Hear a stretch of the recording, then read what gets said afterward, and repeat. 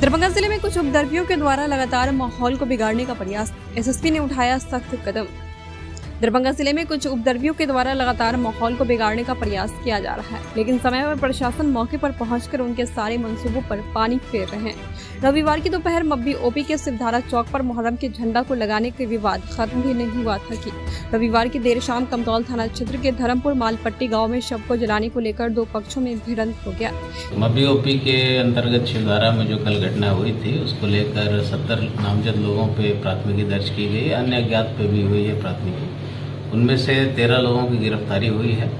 उनसे पूछताछ करके और जो फुटेजेस हैं हम लोगों के पास, उससे नाम पता और पहचान करवाया जा रहा है, जिसके आधार पर और अपराधियों की अभियुक्त भी जुड़ने की संभावना है। जितने भी लोग हैं जिन पे कांड सत्य पाया जाएगा, जो फुटेजेस में हैं, उनके खिलाफ हम लोग आगे और भी जो कानूनी कार्रवाइयाँ हो सकती हैं, उनके कैरेक्टर वेरिफिकेशन को लेकर, पासपोर्ट वेरिफिकेशन को लेकर या सरकारी सुविधाएँ जो भी मिलनी थी, जो मिल सकती थी उन सभी को रद्द कराने की हम लोग प्रक्रिया प्रारंभ कर रहे हैं। जल्द से जल्द इसमें और भी लोगों की गिरफ्तारी होगी।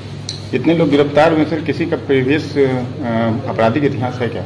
पता कर रहे हैं हम लोग एक दो लोगों का है पता चला था हम लोग को लेकिन और बाकी लोगों का भी पता कर रहे हैं। शमशान घाट को लेकर एक व्यक्ति की मृत्यु हुई थी उसकी बॉडी को जलाने को लेकर विवाद हुआ था दो पक्षों के बीच में। उसको थानाध्यक्ष अंचल निरीक्षक वहाँ के और आर जो थे सिंहवाड़ा के, वो सब मिलकर उसको सुलझा लिए थे, बातचीत हो गई थी, कहाँ पे बॉडी को डिस्पोज ऑफ़ करना है, लेकिन उसमें जैसा कि मब्बी में कुछ शरारती तत्वों ने जो वार्ता थी उसको विफल किया, वहाँ पर भी रात्रि में अंधेरे का फ़ायदा उठाकर कुछ लोगों ने पथराव करना शुरू किया, हल्ला किया और भ्रम की स्थिति पैदा करने से। वहाँ पर फिर दोनों साइड से पथराव हुए और फिर जो बाहर से सिटी एस पी गए एस डी पी गए, हम लोग भी गए थे रात में। कुछ गाड़ियों को फिर गाँव वालों ने ईट पत्थर से उसमें नुकसान भी गाड़ियों को पहुँचाया है। कुछ पुलिस के जवान पदाधिकारी को छोटे भी आई हैं।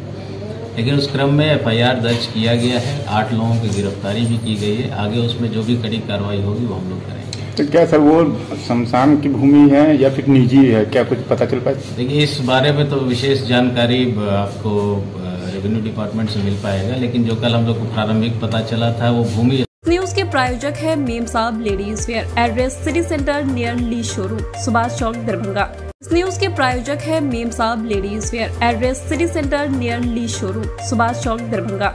इस न्यूज़ के प्रायोजक है Mem Sahab ladies wear address city centre near Lee showroom Subhash Chowk, Darbhanga. इस न्यूज़ के प्रायोजक है Mem Sahab ladies wear address city centre near Lee showroom Subhash Chowk, Darbhanga. इस न्यूज़ के प्रायोजक है Mem Sahab ladies wear address city centre near Lee showroom Subhash Chowk, Darbhanga.